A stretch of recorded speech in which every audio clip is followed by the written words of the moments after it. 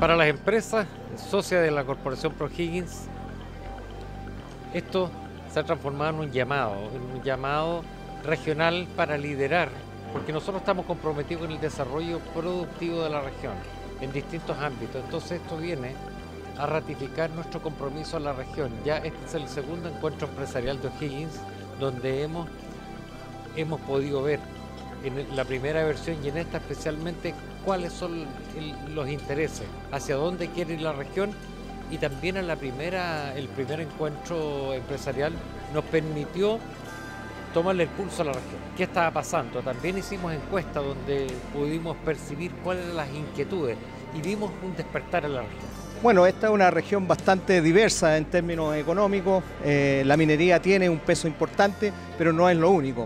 La verdad es que tenemos que trabajar en conjunto para los problemas comunes de las eh, distintas eh, actividades económicas que se desarrollan en la región. Y esta es una forma de entender un poco la necesidad o los proyectos que están desarrollando las distintas áreas para poder eh, comunicarnos y generar alianzas que nos permitan el progreso de la región. Sí, es importante conocer la, visión de los empresarios, ¿cierto? Lo que ha expuesto Codelco es importante para la región, el crecimiento que va a tener, la proyección de 100 años más, ¿no es cierto? Y lo que se está realizando, sobre todo integrando a la comunidad y a la región de este abriendo las perspectivas de, esto, el paso a la ley es fundamental para el crecimiento de la región, el eh, consolidar las rutas, ruta 90, ruta 66, la tercera pista, ¿no es cierto? que van contribuyendo no solamente a la seguridad, sino también al crecimiento de la región.